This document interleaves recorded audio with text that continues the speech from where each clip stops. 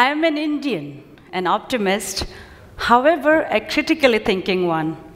In my short lived experience in India, I have stories to tell you.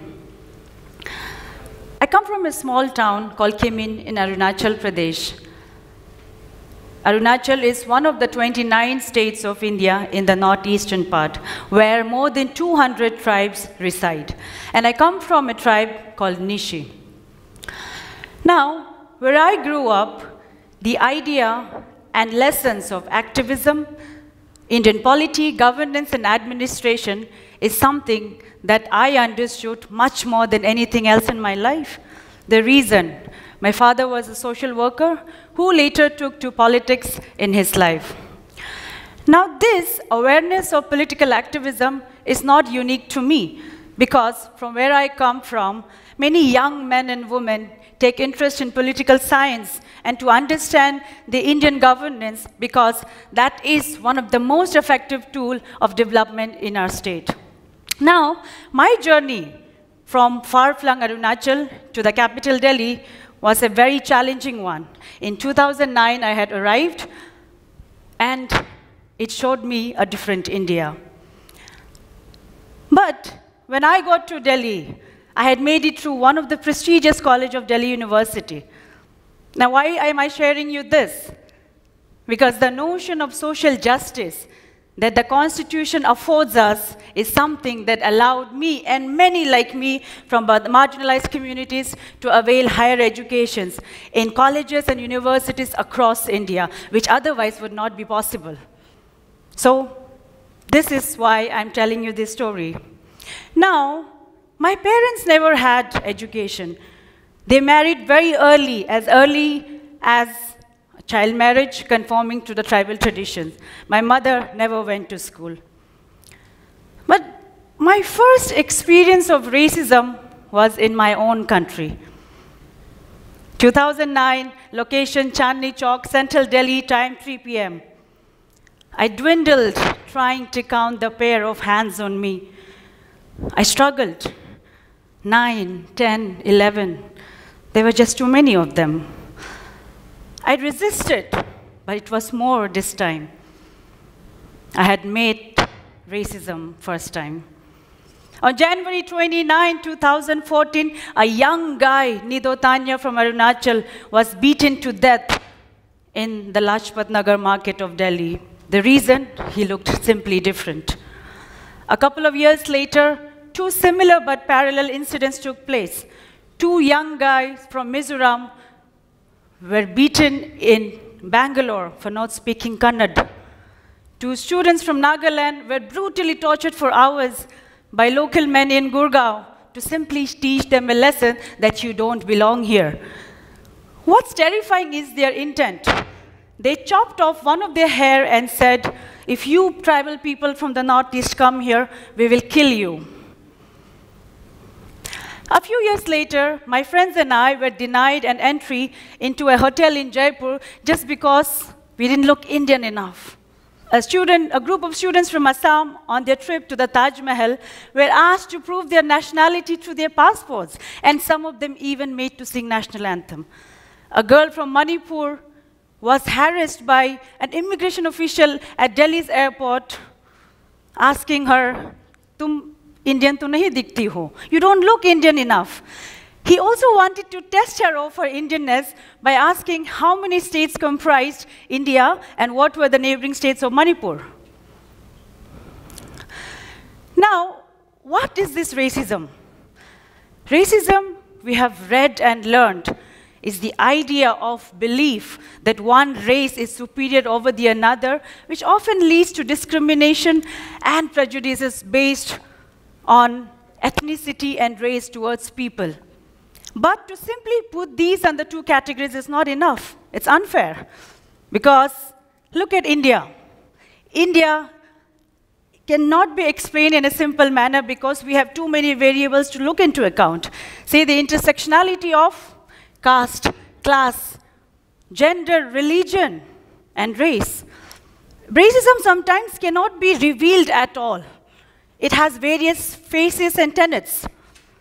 I have a million story to share, but one thing in particular that reminds me of now is in my initial years in Delhi, when I was looking for a rented accommodation, one of the landlord looked at me and said, from the Northeast, how will you pay the rent? I hope you're not that type of girl. And I was trying to understand what he meant. And it's not just this story, there are a million stories. If you are a man from the Northeast, you are often looked at with a lens of characterless, drug addict, drunkard. And a woman, there's sadder stories. But racism is something that we need to understand that it's not left, right, one or two. But any action, any thought, any process that acts as an impediment or a hindrance for a dignified life is racism. Be it a simple racial slur to Chinky, Chinese, to not giving a job, not giving a house on the basis of someone's ethnicity or race.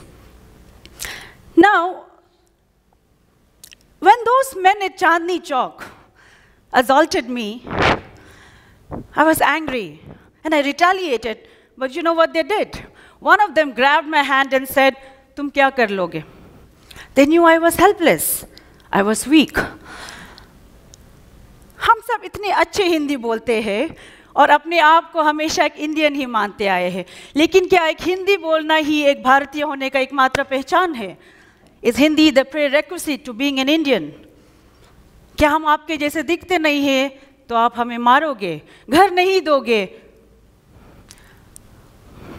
A few years later, there was another story in Bangalore.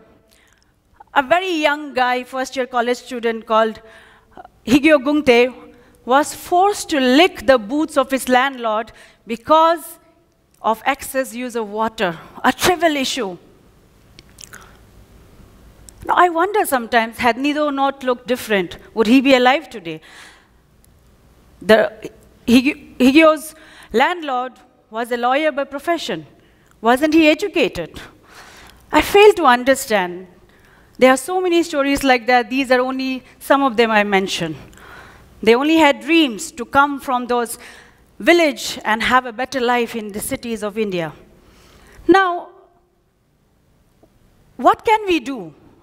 Can we just cry over it and discuss and just let it go? No. First, we must understand that the idea of India is India only because of our diversity. This nation does not preach of one identity, one religion, or one set of values. We celebrate Holi, Eid, Christmas, and so many more. Are we short of holidays ever? No. And let me just put you a few questions to ponder upon. How many states are in India? How many in the northeast of India? Eight.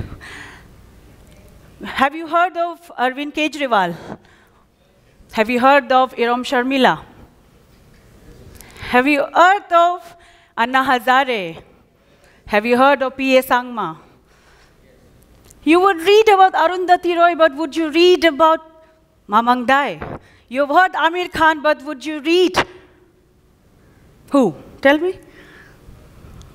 There are so many artists, stories, folk tales, culture we want to share, but India does not ask. No school curriculum talks about it. I think we have failed somewhere to represent our inclusive India. Now, when we accept this, only we can start a conversation. And I think the government must have the utmost responsibility in teaching the country about the culture, history, and politics of this nation, India's struggle for independence, and the past of Assam, Arunachal, Meghalaya, Mizoram, Manipur, Nagaland, Sikkim, and Tripura. And anger is not the solution. I have lived with it all my life, but I have evolved. I think instead we need to teach each other how to love, fight injustice, resist hatred and prejudices. I think that's when we will begin to have a conversation. And also, I think the more important point is we need to take responsibility in ourselves as an individual. Pick up that pen, write stories, and also, very importantly, introspect on your behavior towards your neighbor. Your neighbor might need you more than anything else, but we don't realize that. And I think one important uh, discussion that I need to bring forth to you is the cultural diversity that is not represented in the media, internet, especially popular culture like Bollywood. Bollywood also, in many ways, have done harm by not giving the right information. Just to make your brain uh, work on that, why is that only certain communities of people in Bollywood are represented as chokidar, servants, bahadur? We must think about all that.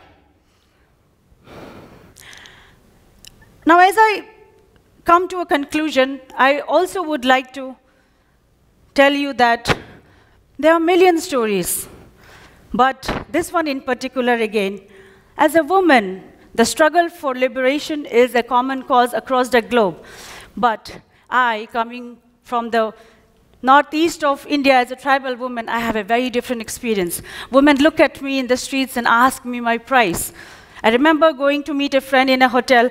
I was asked by two men in an elevator, What's your price?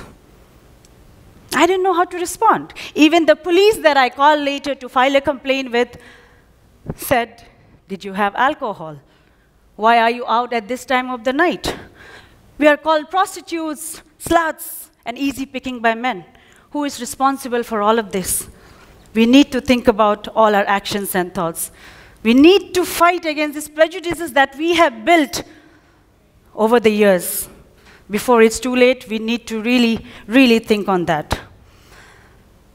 Here's a short poetry uh, summarizing the theme of Wings of Liberty, freedom, and my emotions when I talk about racism and the idea of India today. This is the country of many gods. This is the country of many bloods. This is the country of many identities. This is the country of many names. Do not forget this region, India's northeast. Long history, distorted geography, blood, conflict, and pain. Do not forget our sufferings, our ancestors, the headhunters, remember our fathers the same way we remember our Indian soldiers, remember the courage, that legs that carried you to freedom. Remember, my father and his friends carried you to victory. The 1962 war. Remember, we are here, and they are the reason I am here. Memories and houses drowning in rivers, young flesh and bones trapped in coal mines, thousands killed, thousands murdered, women raped, waging war against the state. Lawlessness, impunity, states submerged in agony. India's stepsisters, eight beautiful states often forgotten, often at the brink. But what do I tell of this free fourth pillar? Where is media? Maybe I'm not the only one with a murdered father. Media is a lie. It is a parasite on corporates' money. Blessed by oligarchs, all colors, all same, pick up your swords or leave.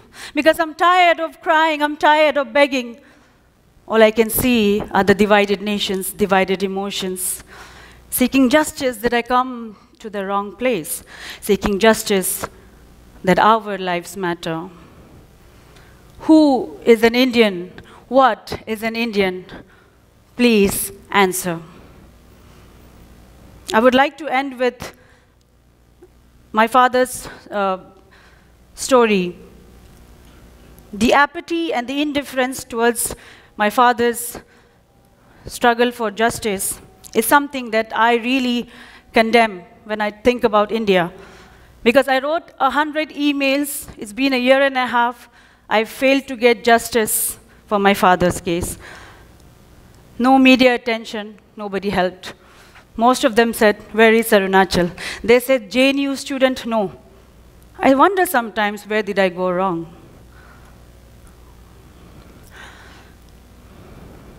But I believe this country will rise above all of this. This country will rise above this hatred. As we were struggling the JNU Student Union elections were around the corner. And I took a plunge knowing the meaning and the importance of the student union elections in today's time. And I was correct. You will not believe the same journalist who did not respond to my emails in 2017 now was getting back to me saying, Are you the Reena, the same daughter who is fighting for her father? I must tell you, India, sorry, I had a bad experience. Yet again, a student election gets more attention than a murder story in the Northeast. Thank you.